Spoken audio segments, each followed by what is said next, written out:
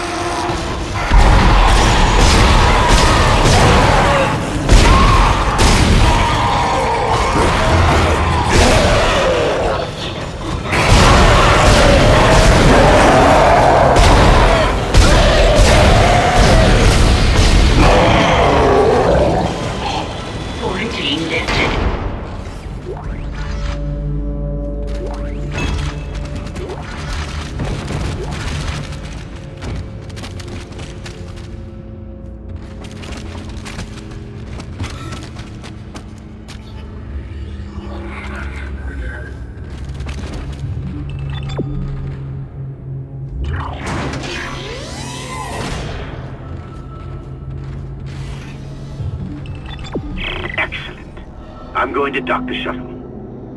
Got to be careful now. Careful.